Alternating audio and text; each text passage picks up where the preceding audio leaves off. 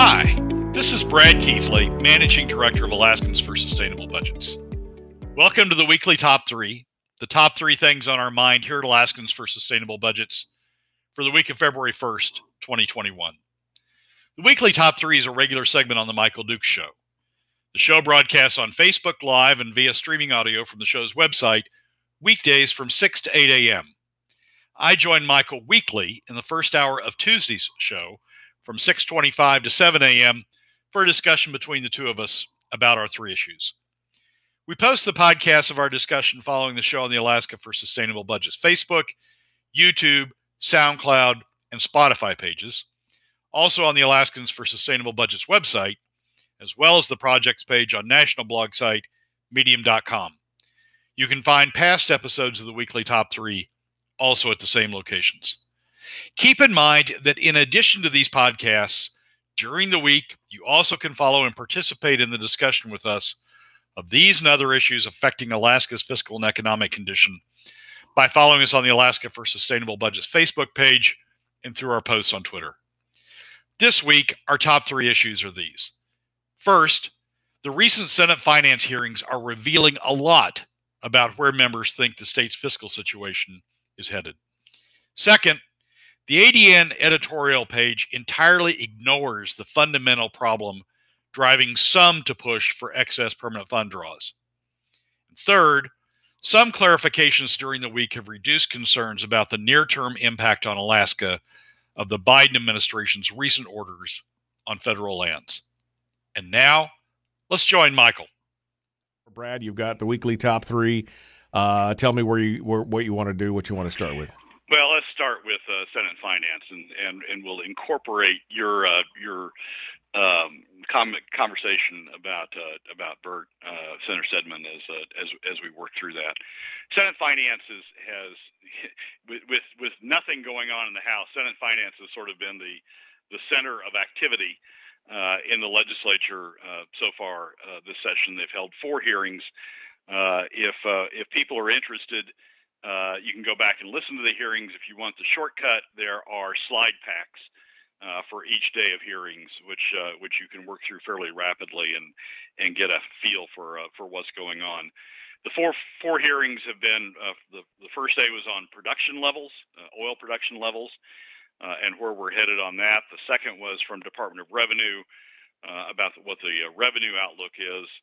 Uh, the third was from OMB, the administration's OMB, about uh, what's in their uh, proposed FY22 budget and, and their 10-year plan.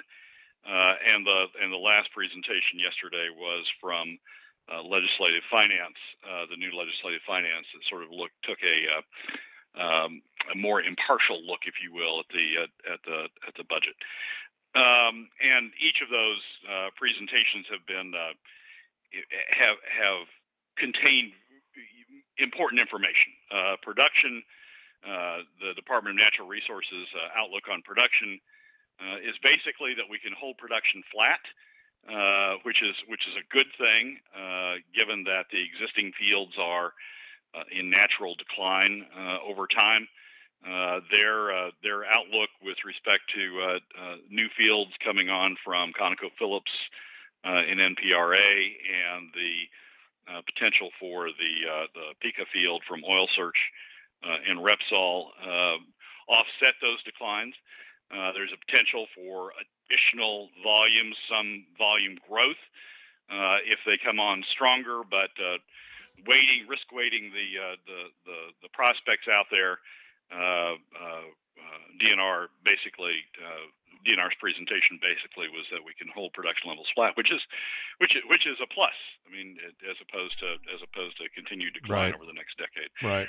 Revenues outlook uh, was primarily focused on two things: oil prices um, and uh, and and where the the permanent fund, the earnings from the permanent fund, those are our two big revenue drivers uh, out there. And um, uh, basically, their view was that oil prices uh, uh, aren't going to the, the oil price cavalry isn't coming over the hill. We aren't going to go to $100, which is what it would take to balance the budget off of traditional revenues, current spending levels off of traditional levels. Uh, we're going to stay uh, well short of that, well short of $100. um, and that uh, uh, you can count on the permanent fund earnings to to produce a steady state five percent, uh, but but but shouldn't be looking for anything more than that. certainly under current statutes, um, and so that was, I mean, that's a sobering outlook from revenue. OMB was where where the the committee got into uh, a discussion of the spending items that uh, that you're talking about. Uh, this is sort of the it's sort of the blind leading the blind. Um, the governor has proposed uh, the 400 million dollars in spending cuts uh, at a at a sort of a, a top line level, but he hasn't he hasn't filled out the detail of where those would come from. And I think in part what what what Senator Stedman was responding to uh, and, and, what you were picking up on in the first segment is is a frustration level of of uh, of you, you, say 400 million dollars in cuts, but where are they supposed to come from? Um, back to OMB and OMB sort of well, we'll we'll find them as we go right. along. And right. And, and Stedman's response is, well, we haven't found them yet. Uh, and uh, and if we were going to find them, you would think we would have found them so far. Um, and so it's it's and and the governor doesn't really propose them this year. It's sort of this ethereal. We'll get to them uh, in future years. It's it's a lot like the Senate was when uh, Governor Dunleavy was still in the Senate, uh, and they said, "No, we're not going to cut. We're, we're going to make some cuts this year." It was sort of moving money around, but we're really going to cut next year, and next year never came and I and I think uh, I think what you're seeing from Senator Stedman is is a bit of frustration.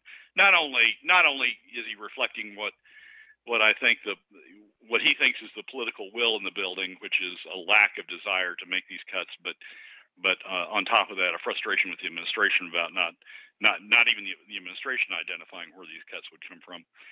And then the final presentation by Legislative Finance uh, yesterday uh, was eye-opening in in two senses. One was uh, they uh, sort of went through the cuts, uh, the purported cuts that the administration had made uh, in the FY22 budget, and and identified that most of these cuts were one-time was one-time money that essentially you were using to fund certain certain spending items uh, from either COVID or in the case of oil and gas tax credits from ADA funds, uh, funds that you wouldn't normally pull in or you wouldn't normally see on a recurring basis uh, uh, to, to, to fund spending. And so rather than funding them, funding these spending items from UGF, they were funding them from these other sources and, and calling them cuts because, because you weren't funding them from UGF. It looked like UGF spending was down when in fact the spending levels were the same.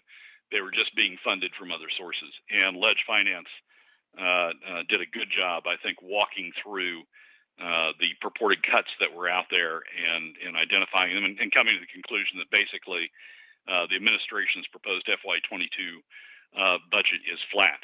The second thing that Ledge Finance did uh, in yesterday's presentation, which I thought was important, is is sort of a repeat of what they'd done in a in a prior presentation uh, earlier before the session got started, uh, before the old House Finance Committee, uh, and and and it was to point out that look, uh, the the governor's proposed use of, of an excess uh, permanent fund draw, an, an, excess draw from permanent fund earnings uh, this year and next, which the which the governor has proposed, is, is not costless. It comes at the cost of about 160 million dollars uh, uh, annually uh, in less revenue because because you're lowering the investment base, you're pulling money out of the earnings reserve, out of the permanent fund, lowering the investment base.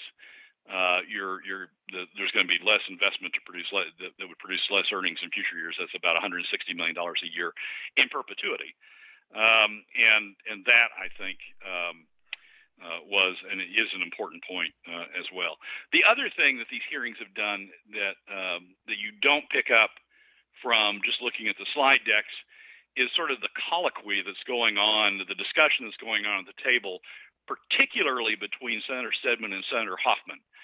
Um, and it's about they're they're they're basically sort of identifying issues that they're going to come back to uh, during the course of the session in the in the development of the budget um, and flesh out further. And and these are these are very interesting uh, discussions. Uh, one in particular that they had a couple of days ago was about oil taxes. Uh, I guess it was during the presentation on production levels. And Senator Stedman uh, said, uh, "This doesn't look eh, this this flat production doesn't look any different than what we were looking at um, in the early two, in the early 20 teens uh, when we were doing SB 21 and SB 21. I mean, this is this is Bert talking. SB 21 was sort of given us as a promise uh, that that we would increase production levels if we if we lowered taxes, we would increase production levels right. going out in the future. Um, and um, uh, and and Bert and Hoffman had this conversation and said, well, that didn't occur. And so uh, the end of that conversation was basically, we're going to come back and look at SB 21. So it's there. There are a lot of issues that are coming up in these discussions that I think are important. Well, and I would agree. Uh, several people in the chat room have brought up the fact that hey, even when the governor did have uh, uh, did have uh, uh, you know cuts and had details on where his cuts were coming from, he got just totally ripped to shreds. And I think again that goes back to the political will question. Even I mean his this this budget definitely more amorphous than his 2018 budget, which immediately got him. I mean, still the the ADN is still using words like draconian uh, in some of these things. Uh, and and yet still, uh, you know, he's getting, you know, people are getting lambasted for it. So I mean, I think the bottom line is is that we could see that there is still no will to to make these cuts. There's no discussion. I mean, they talk about the sacrifices of Alaskans. They talk about you know all this other kind of stuff. But where's the sacrifice in government? There is no sacrifice. It's always in the private sector. The private sector and the citizens have to bear the entire brunt of it. The legislature, the the government, the the the public sector never has to take any of it. If anything is cut back, it immediately is a gasp moment for them that that just possibly couldn't happen anymore. Yeah, Michael, the, the, the, the, the challenge here is we just had an election, right? I mean, if to, to get to 21 and 11 that are going to make these cuts, or even or even the governor plus 16, to get to, to, to get to 21 plus 11, you're going to have to have legislators who are willing to make it, who believe they have mandates from their districts uh, uh, to make these cuts. And and if anything, this last election cycle, we, have had this discussion before, but the, some of the some of the red districts turned even redder. I mean, right. John Coghill got de- got defeated, and and uh, uh, and and and and his replacement is more conservative. Kathy Giessel got defeated; her replacement's more conservative. Uh, but but overall, if anything, the legislature became more purple. Um, and you've got Republicans. Sara Rasmussen is, is one I, I, I, use often, but you've got Republicans who say, "Yeah, I want to cut, but I can't cut these things because my district, my district wants to uh, wants to preserve them." Well, by the time you take 60 legislators, and each of them have got things that their that their district wants to preserve, you don't get cuts. Um, and so it's not I, I it's not that it's not for lack of creativity in terms of where you can make cuts. The, the governor's 2018 budget or 2019 budget um, uh, showed that there were places where uh, where you can where theoretically you can make deep cuts. It's not for lack of creativity in, in identifying those cuts. It's for lack of political will. And and and you know if we were ever going to have a focus on bringing legislators down there or electing legislators who would make these cuts, the last election cycle should have been it, and we ended up turning more purple uh, uh, in the legislature. So it's I, yes, uh, there's a huge desire to make cuts uh, on on the part of some people. Yes, there's there's there's ways that you can identify. I mean, the university is still overfunded compared to its lower 48 peers, significantly overfunded compared to its lower, lower 48 peers. You can identify all sorts of areas to make them, but you have to have the political will to do it. You have to have 21 and, and 11 to do it. And I, Bert, you know, as, as much as we want to, as, as much as we want to attack him, Bert's reflecting the, the, the building in the sense of there is not the political will to make those cuts. So what Brad's saying here, I think, is basically it's not just the politicians, it's the people who elected them. That these are constituencies that obviously like the high levels of government spending and are okay with taxes or whatever. Uh, again, my problem, uh, my problem with this whole thing is that. Uh, you know, we brought the ideas forward. We've looked at the, you know, we've looked at the cuts. We've done what can be done. And any idea of giving them more money at this point just basically screams that they're going to do what they've always done, which is spend, overspend, spend, and spend some more. And uh, and that's that's my big problem with moving forward on the talking of taxation and everything else is, you know, past performance is indicative of future results, Brad. And all they're going to do is take every dollar that we give them and they're going to spend that and then try and spend some more and we'll still be in the hole. That's just that's where I'm at. Well, Michael, the problem, the, the challenge with that is they're spending it out of the PFD, and by cutting the PFD, I mean they, we do have taxes. Uh, the, the PFD cuts are taxes, and and they will continue to do that. Um, if we don't have if we don't have alternatives, if we don't have substitutes for the revenues, they'll take it out of PFDs. And the top twenty, as we've talked on the show before, the top twenty percent are just fine with that. Uh, as, as, I, as I've said on the show before, there's this unholy alliance between people like Natasha uh, and others in the top 20% who are who are who, who are not serious about sp- cutting spending because they don't have to pay for it. the, the, the costs are shoved off on middle and lower income Alaska families through uh, through PFD cuts. So um, the, the the challenge is they will continue to spend and they will continue to fund it uh, through PFD cuts. If we don't come up with substitutes that spread the burden more fairly, more equitably among all Alaska families, particularly among the top 20%, they'll just continue to, to, to use PFD cuts. You can already see it. I mean, one of the one of the colloquies that happened during the finance committee uh, meeting was Natasha started pounding on the table at one point uh, because because the the OMB had not included PFDs as part of spending. Uh, she wanted them included as part of spending because if you if you treat them as spending, uh, they show up to be a huge a huge segment uh, of the budget. She wanted to include them as, as spending because she wanted to make the point that that if we didn't have a PFD, the budget would be in balance. We wouldn't have to worry about cuts. The budget the budget would be in balance and and you know that's her attitude because the PFD is meaningless to her, and is meaningless to her and and and her donor class. So we will continue to there will continue to be taxes. There will continue if we don't have a substitute. There will continue to be taxes. There will continue to be revenues. Legislators will be uh, uh, legislators along the lines of Natasha and others will be perfectly happy with that outcome. The budget will be in balance. We just won't have a PFD. We will have wiped it. We will have used.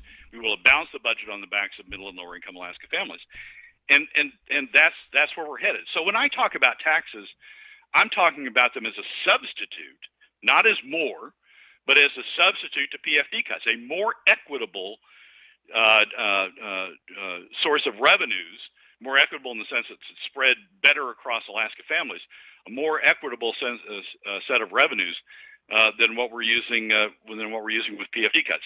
And you can couple that uh, with uh, with the governor's constitutional amendment or with other constitutional amendments that would constitutionalize the PFD. Take that take that off the table uh, to ensure that they don't have PFD cuts plus uh, plus revenues that the that the revenues that the revenues from replacement revenues are are truly replacements.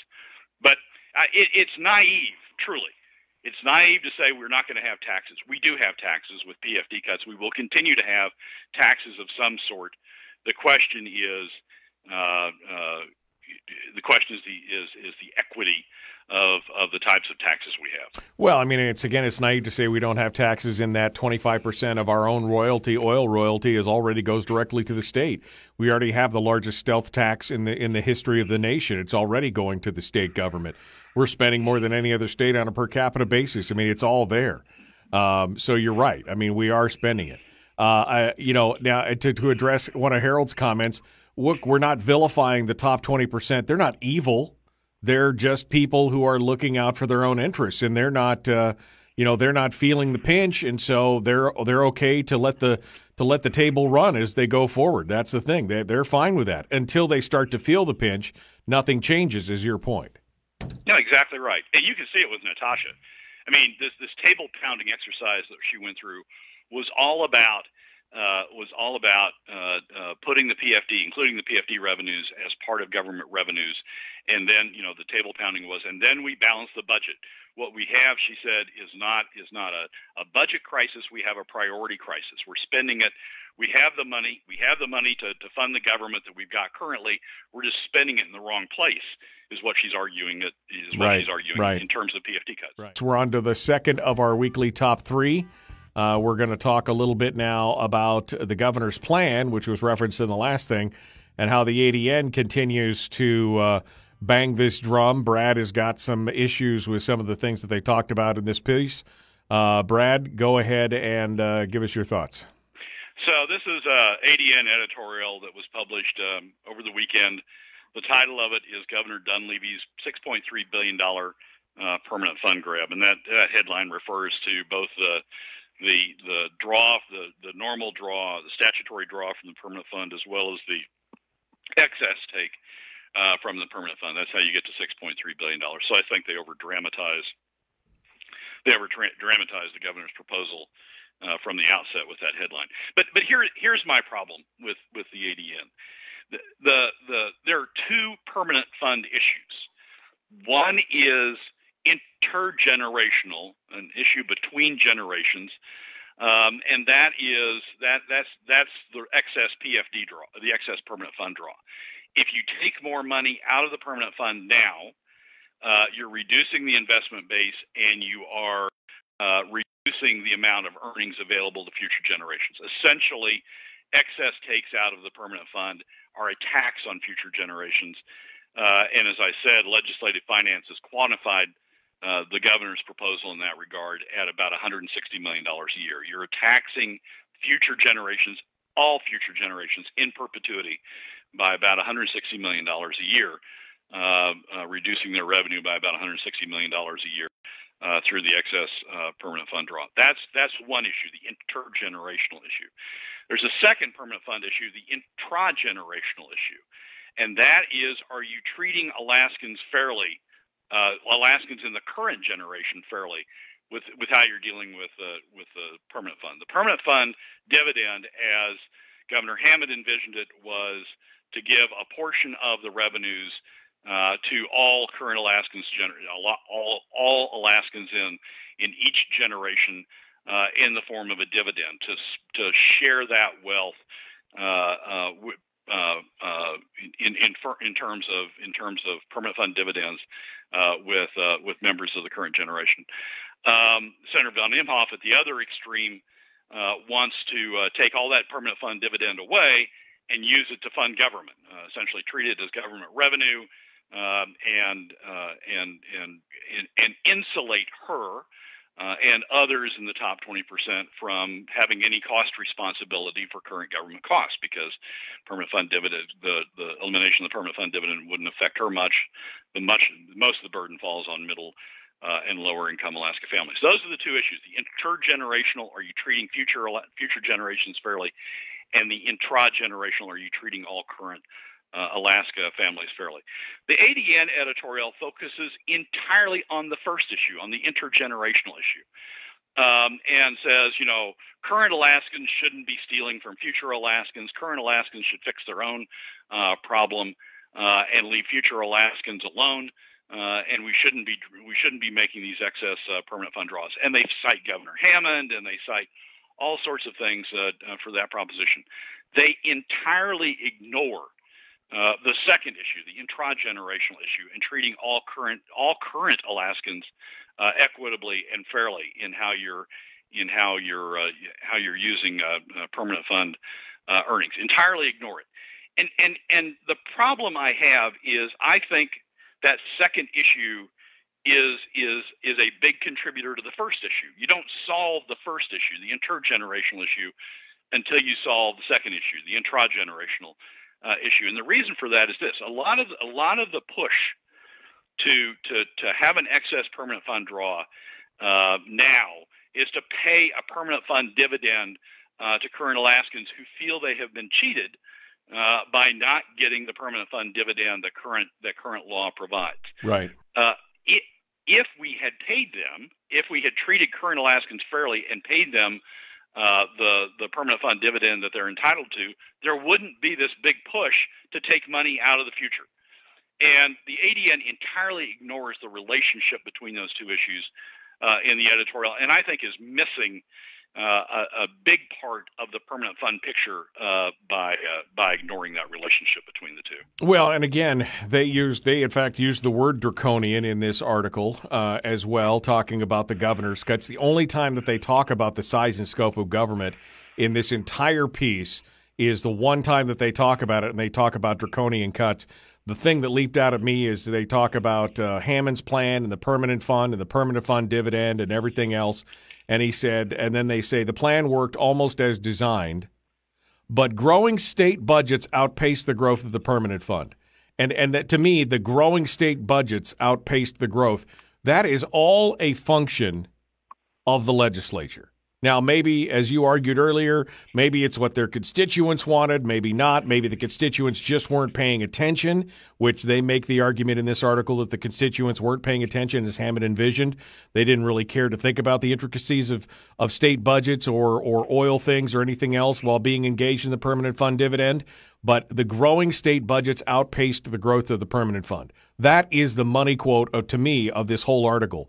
We have lived beyond our means, and we're going to continue to live beyond our means because nobody has the political guts to say we can't keep doing it. Well, we haven't. Yes, we haven't elected people that have the guts to do that. I mean, we, we've got 60 legislative districts, 40 House districts, 20 Senate districts. They're elected by people in uh, each of the legislators are elected by people in their districts. We haven't elected people, a majority of people, 21 plus 11, uh, in in those elections that uh, that are gonna that are gonna make those cuts, and you, you you've got to do that in order in order for those cuts to occur. And you know, going back to Sara Rasmussen again, her argument is people in her district don't want to make those cuts. Uh, so you've got Republicans out there. You got you got some Republicans who are saying, "Let's cut away. Let's you know let's let's get the university down. Let's get Medi- Medicaid down. Let's get uh, uh, K through 12 spending down. You got you got Republicans who want to do that, but you've got others uh, who who you know for various reasons say we can't cut this, we can't cut that, we can't cut the other thing, and by the time you go through 60 legislators, that adds up to to, to minimal if uh, if any cuts. It's not. Yes, the legislators are the problem, but they've been elected by their districts, and they have they have whether right or wrong, they have a sense of what their districts want and we don't have 21 plus 11 districts uh, in the state that are saying they're electing legislators that say uh, uh, to, to cut spending to the levels uh, it would take to get it down to traditional revenues. But this ADN article obviously misses the point of both uh, both that part that I just uh, you and I just made, and the point obviously that if Alaskans had been paid now here's the the flip side of that if Alaskans had been paid their full dividend, we would have looked at this crisis a little bit sooner. We maybe at 2018, 2017, we would have had to look at it and go, wait, we we can't keep doing what we're doing. This is all this has done is just kick the can down the road, uh, and again created more of these problems. You want to give us just a sneak peek of three, and then we'll take it in the break at the top, I guess. Yep. So the three is uh, uh, we now know more about uh, the effect of President Biden's uh, uh, decisions on federal lands uh, last week, and actually they've improved the picture from the standpoint of Alaska. The um, last week there was there was uncertainty about what uh, what the president's decisions meant with respect to uh, future permits on existing leases.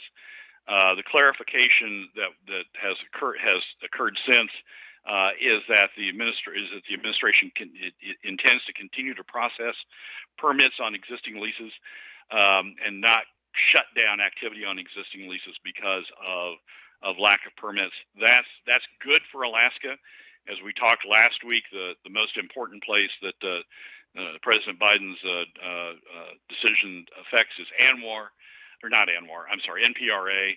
Um, and N- NPRA, we've got existing leases. Conoco's got existing leases out there in, in, in areas they want to develop. The key question is were they going to be able to get the permits to develop those areas? Um, and the clarification that's come since in the last week has been yes, uh, they will be able to get those permits. So there's still and we can talk about this when we after the break. There's still uh, adverse impacts from the president's decision, but it's not quite as bad uh, as uh, as some uh, some thought it might be at first blush. I'll let you uh, stretch that out there and, and expand that for us on uh, on the uh, the Biden the Biden executive orders and the legacy that he is going to try and implement here over the next four years on the state of Alaska. Yeah. So ANWR, I mean, there's two areas that people are worried about: ANWR and NPRA. Uh, ANWR economically is off the table. I mean, it, it, you're not going to find, as we saw with the with the lease sale, you're not going to find private investors willing to come in and invest in ANWR. The, the future of the oil industry is too uncertain. The costs, excuse me, the costs of, of going in and developing, uh, finding and developing leases, uh, or finding and developing oil in ANWR uh, is too risky. There are a number of other areas uh, that are much less risky, much more solid in terms of oil plays. I mean, all we have to do is look at Conoco's uh, uh, acquisition of Concho Resources down in the Permian Basin, uh, sort of reorient, reorienting their company, Conoco, uh, to being a, uh, at least a a very large player uh, in the Permian Basin, if not in a, if not a Permian Basin focused company. Uh, there's just too many other places to to invest uh, to, to to look at ANWR. So yes, Biden is shutting down ANWR, but ANWR, uh, as we've talked about on the show before, ANWR wasn't going to be a player uh, in any event because of because of economics and, and the uncertainty in the oil industry. The big place that, that, that the Biden rules affect from Alaska's standpoint is NPRA um, and and Conoco's developments in NPRA. And there were two there are two issues uh, uh, with respect to that. One, does Conoco have the leases it needs to make its development? And the answer is yes. The much more important issue was can Conoco get, get the permits it needs to develop those leases.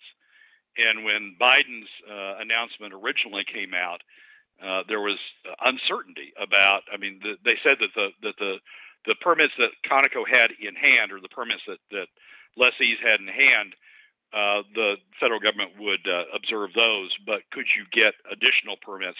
The question of whether you could get additional permits was up in the air.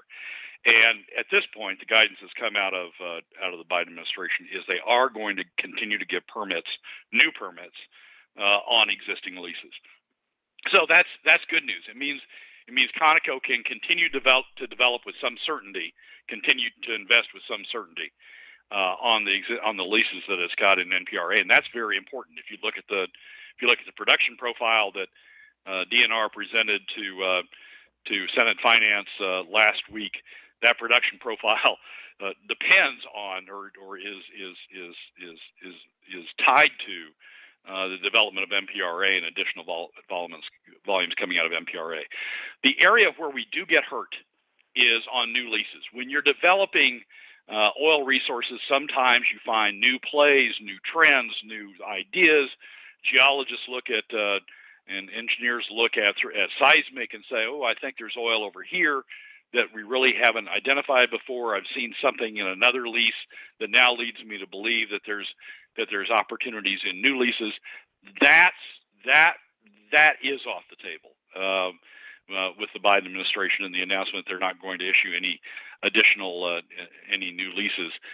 Uh, the identification of, of new trends, new opportunities, new extensions of existing fields or existing plays uh, that we that we you know know about now and that we now you know, that at some point we think may bleed over into other areas.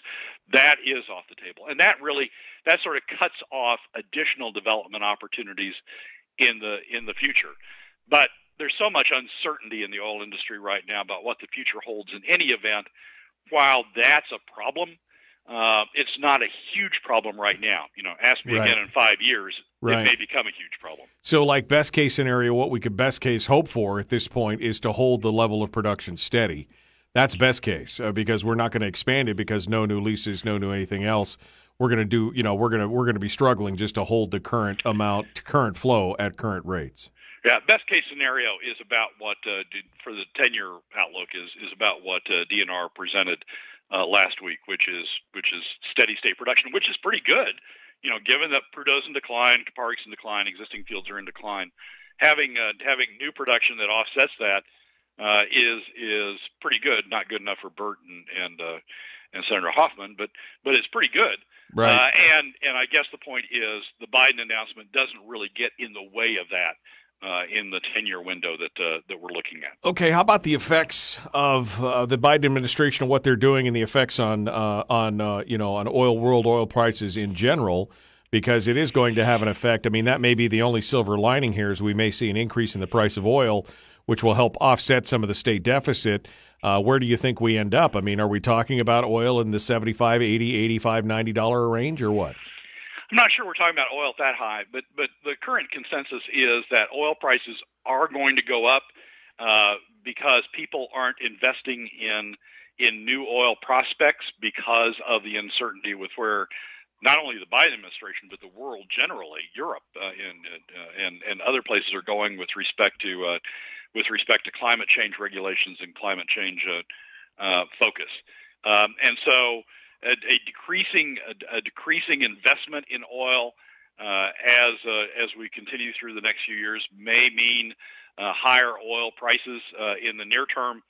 Um, somebody, some argue that that's that sort of creates oil's own death spiral because at higher prices, you, the economics of, of renewable energy becomes even better, and there's more investment in renewable energy, and it phases oil out sooner.